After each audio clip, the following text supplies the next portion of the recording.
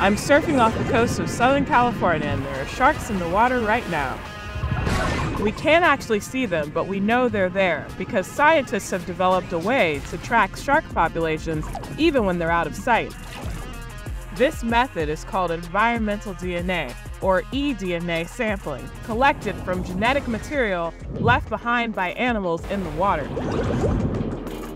Collecting and analyzing this data is changing how we track marine life. One scientist has developed some unorthodox ways of collecting this data and involved her community in the process.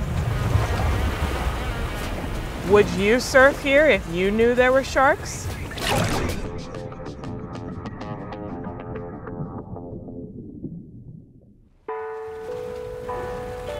This is Apryl Boyle, a surfer and shark scientist who's working with her community to collect data to understand the biodiversity of local surf spots. Thanks for inviting me out to check out your work, Apryl. Of course. I'm so excited to have you here. So, tell me a little bit about what you've done. I've been surfing my entire life, and surfers are amazing community scientists, whether or not they've gone to college for science like we have. We see the water every day, we see how the shoreline changes. We have so much knowledge of the coastline that scientists really need to tap into. The big picture was training surfers how to really contribute as community scientists. So first I needed to survey and figure out who's afraid of sharks, who's seen sharks in the lineup, and what their appetite for environmentalism is. In one of your papers, you mentioned that the media sometimes has an influence on surfers' perceptions of sharks. Is that correct? Indeed. We really wanted to see how much the Jaws effect and all those other types of things had on public perception and whether they believed environmental scientists or what they saw on TV, and whether surfers were really afraid of sharks. We've seen great whites here. Mm-hmm. Some nine, nine footers. Yes, I was scared. As far as sharks, nothing to fear. It's all good. The biggest goal is trying to get the eDNA into understanding what's in the water, and then that will get people more excited, in my opinion, to understand what's there and why they need to protect it. So I'm assuming this is your eDNA? Yes. Let's take a look at that. All right. Collecting eDNA is done a number of ways. You just use these little pumps. So we run the aquarium line through and it just takes the water and puts it through our filter. So these filters will take the biologic material. Once we have this information in here, it goes as quickly as we can into my little cooler because it's got to stay cold and then I've got to ship it up to the lab right away. Environmental DNA is collected from water samples. Just like we slough off little pieces of skin and hair throughout our lives, sharks are also sloughing off DNA, which can be collected from a water sample, and we can sequence that to figure out what animals are present in that water.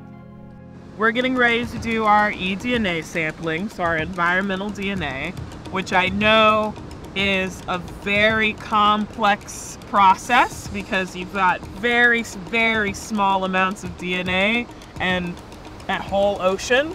So we're just gonna do some buckets today. It's really choppy, it's really stirred up today. Ideally, you're on a boat or something because we are sampling the entire ocean.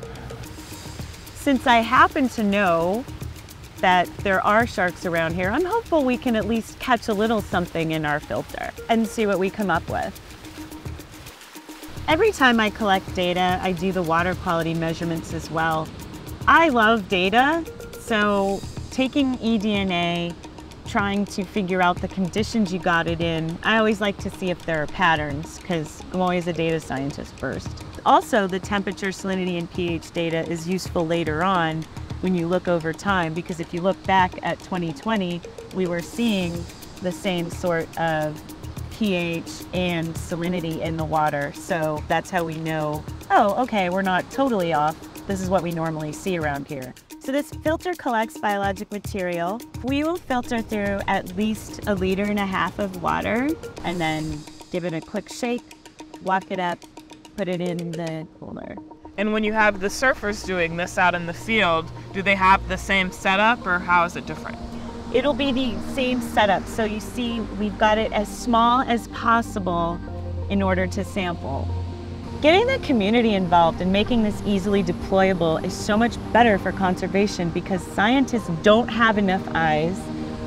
We can get these out to surfers who are out every day. There's hundreds who come out every morning.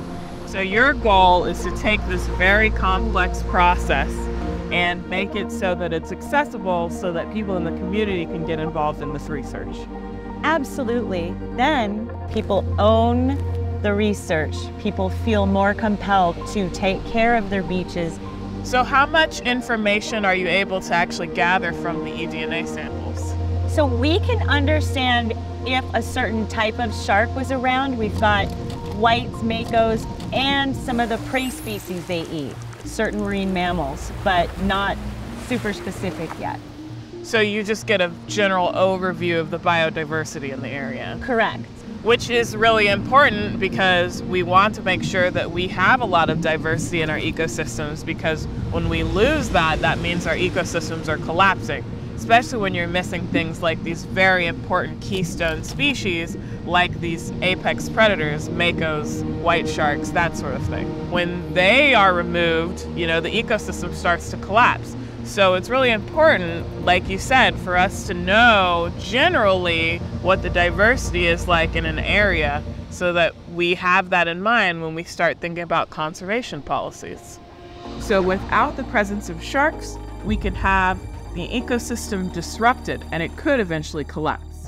For example, if sharks weren't present on a reef to control the parrotfish population, the parrotfish might overgraze on the coral reefs, causing them to die. And if they die, everything that relies on those coral reefs dies as well. An eDNA is a great tool to check the biodiversity of an area. These are the species we test for now, which doesn't mean we can't test for more as we have the control DNA. So we can really get a complete picture of an area. So we've gotten the sample, where does it go now? I ship it up to Gregg in the Genidaqs lab, and they will analyze what comes out of the filter. Yeah, I'm really looking forward to talking to Gregg and learning more about the process that he developed. Hi, Gregg. I'm Jasmin. Nice to meet you.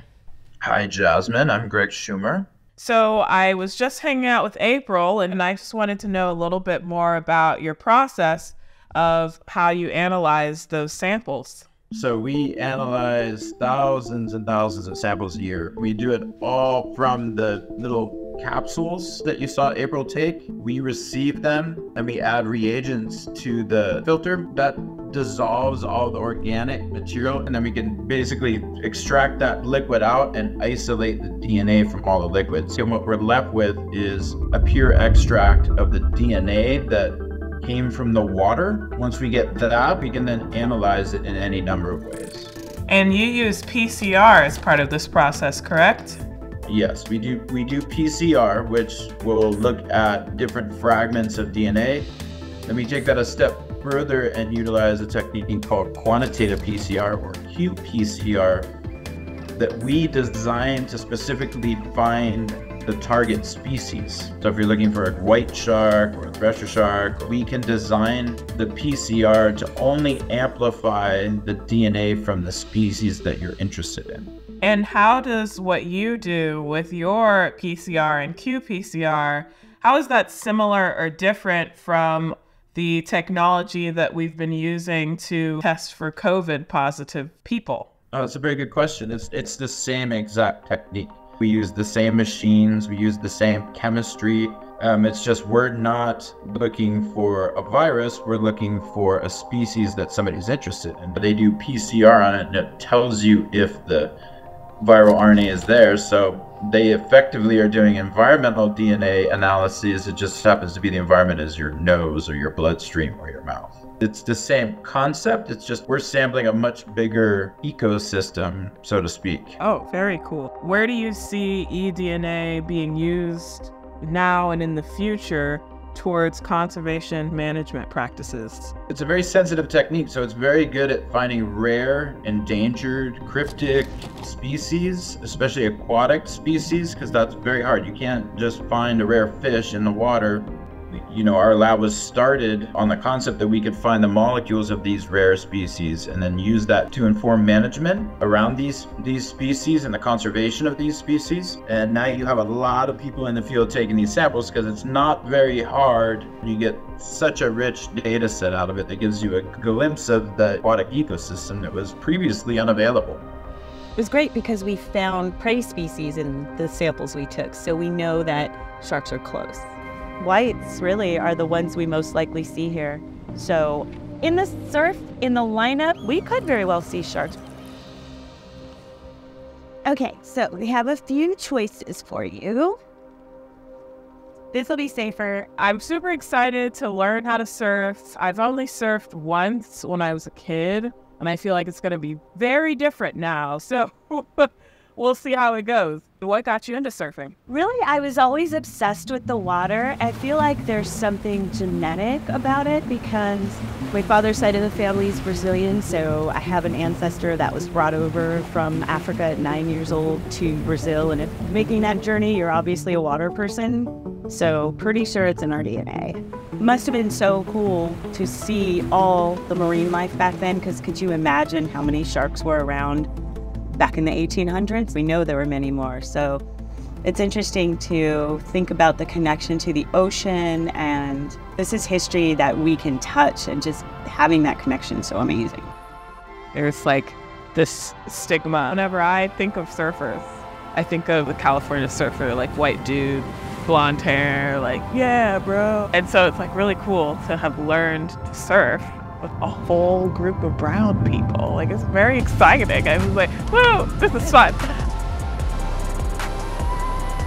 yeah, I really enjoyed it. And I feel like we need more representation just in general in media, but everything that has to do with the ocean. But it, it's cool uh, to have these safe spaces, these communities where we can feel comfortable. Yeah, comfortable to be ourselves and that's so cool to see that like in, in my in my age right now because I never seen that growing up. Didn't know I was a minority when I first started surfing. I just thought I was a surfer with everyone else. And it was later that everyone pointed out there's never people that look like me in science or surfing. In 2019, I actually have the data to back this up. I was the only black member of the American Elasmobranch Society, the main society for people that study sharks. And then when we created Minorities in Shark Sciences, and then like a year later had 400 people, like, whoa. So we really out here. like you don't see us. You don't see us in media. People don't cite us as much. We're not as visible, but we're here.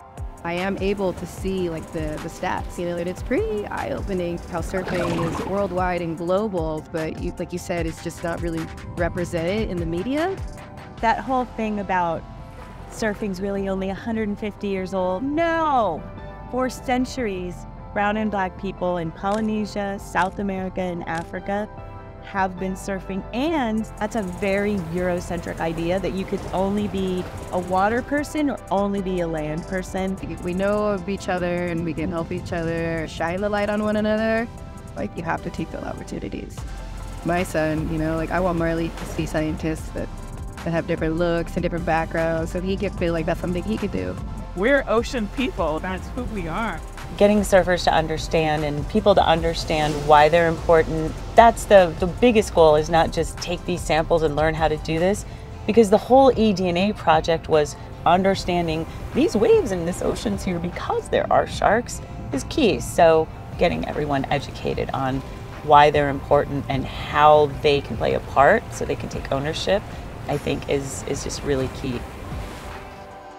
I would definitely surf here, knowing there are sharks here. It's not gonna stop me. I, I would probably still go. It's coexisting.